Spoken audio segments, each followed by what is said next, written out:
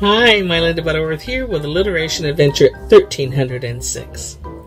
Today we're going to talk about potato chips. Have you ever tried to make potato chips? Well, if you were going to do a lot of it, you would have a special chipper to chip the chips.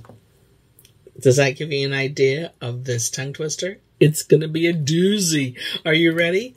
Three times quickly. Here we go. Pat's potato chipper chip chips for a chip shop.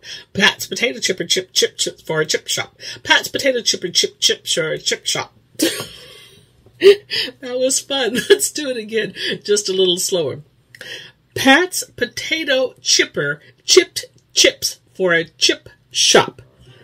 Well, there you go. I hope you enjoyed it. We'll see you again soon. Bye for now.